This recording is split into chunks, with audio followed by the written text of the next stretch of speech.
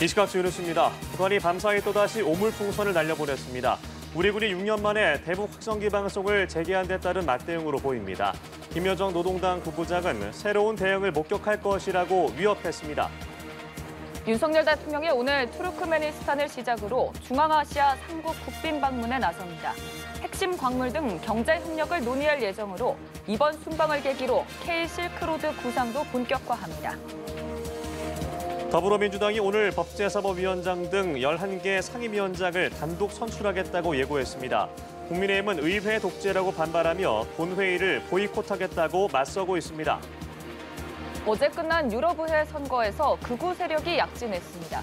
극우 정당의 득표율이 30%를 넘을 것으로 예상된 프랑스에서는 마크롱 대통령이 의회를 해산하고 조기 총선을 치르겠다고 발표했습니다.